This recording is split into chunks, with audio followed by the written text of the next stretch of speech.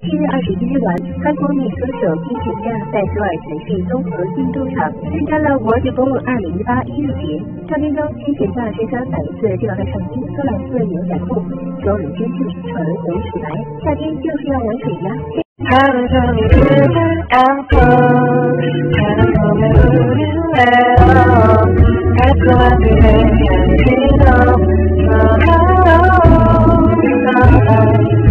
你的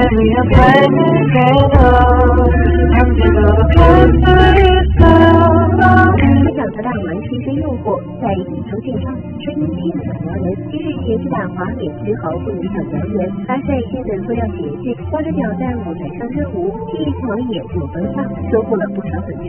不得不说一起比赛的表演感色了教练的付出惊人的气息扑面而来大家娱乐整理不到